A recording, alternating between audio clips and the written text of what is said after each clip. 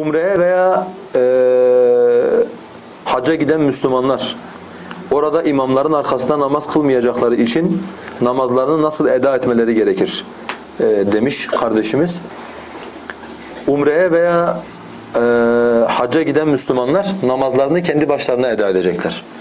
Çünkü veya Müslümanlardan birileri varsa onlarla beraber cemaat halinde eda edecekler. Haccın veya umrenin şartlarından biri orada namazı cemaatle kılmak değildir. Böyle bir şart, böyle bir fariza yoktur. Velev olsa bile, velev ki diyelim olmuş olsaydı bile oradaki namaz kıldıran insanlar müsait değillerse buna İslami açıdan ki değiller zaten. Müslümanın o zaman yine kendi namazını kendi başına kılması gerekirdi.